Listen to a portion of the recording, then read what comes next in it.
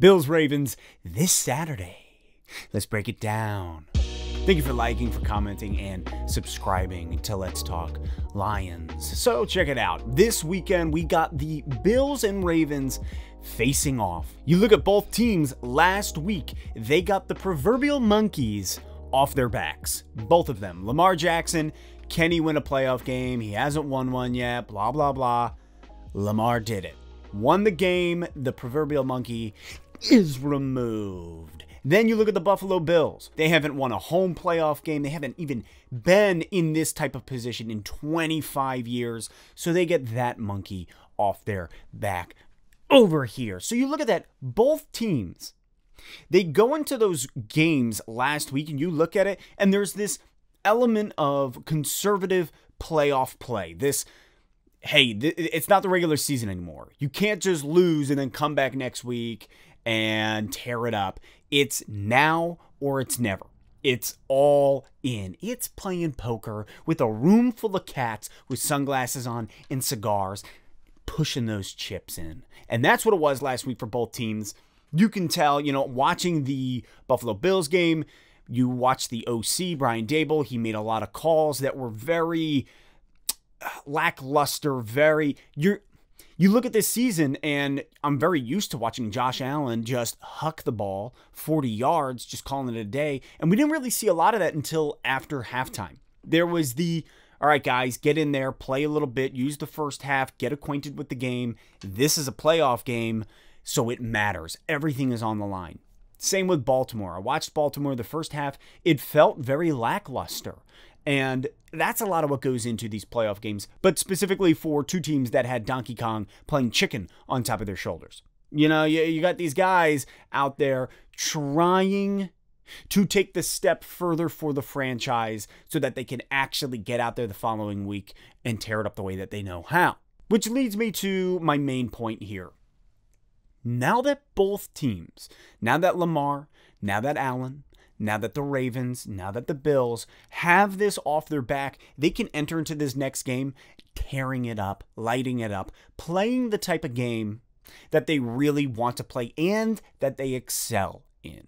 I think Brian Daboll, OC for the Buffalo Bills, can now make a lot of these play calls that he didn't make last week because you're just trying to get that first win. You're trying to break through the barrier of the stratosphere. So, very specifically, when you look at the Buffalo Bills, they're a pass forward team. They have such a dynamic, dynamic wide receiver core between Diggs and Beasley and Davis and McKenzie and Brown. Their wide receiver core, and that's not even including Dawson Knox or Kroft, these tight ends. Wide receiver core alone, very dynamic. Allen can toss the ball like none other. He gets out there. He can hit these guys in these tight windows. Look at those three plays by Davis where he just drags the toes and the ball's right there on the edge. Unbelievable. Unbelievable. And so I really think going into this week, you could see a lot more of that. But one of the main issues is they're calling for a lot of snow in Buffalo. They are saying at the moment the weather could be how do you say poor? Now, what that does mean is passing the ball becomes a lot dicier. And what does that mean for Josh Allen? Is he going to be rearing back, hucking the ball? Because more mistakes can be made. The ball slippery, the hands are colder. Your guys are falling down. Picks are much more susceptible. One thing to note is Buffalo's running back, Zach Moss, is out. He did get injured. That was kind of, it was a scary moment. I thought it was going to be more neck. I believe it was either, I think it was his ankle that he ends up injuring in that game, and he'll be out for the rest of the postseason, most likely, if the Bills are to continue forward. So that means Devin Singletary is going to be taking the grunt work in the backfield. Not to mention, though, Josh Allen can run, and Daboll called for a lot of pass options or strictly Allen run plays last week. So we'll probably see that again, especially if it is snowing. We will see Allen carry that ball. I don't know if we're going to see a very passing forward type of offense from Brian Daboll from the Buffalo Bills. And you're already now on the flip side, you look at the Baltimore Ravens, they're not a passing centric team. That is a run forward offense. Where did Lamar Jackson do most of his damage, man? There was that one play last week against Tennessee where he drops back to pass looking deep and he ends up running 40 plus yards, right? That's the type of offense that the Baltimore Ravens really consist of. One key area for the Baltimore Ravens is converting on third down.